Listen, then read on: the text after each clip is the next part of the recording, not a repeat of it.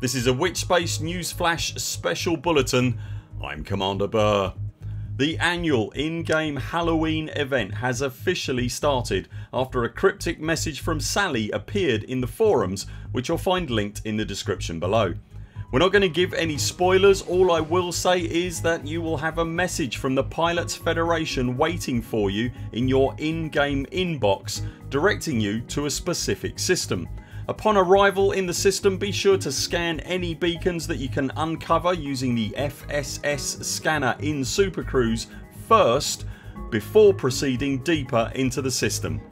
The stuff to be found is absolutely spine chilling. Good luck commanders and we'll see you on the other side.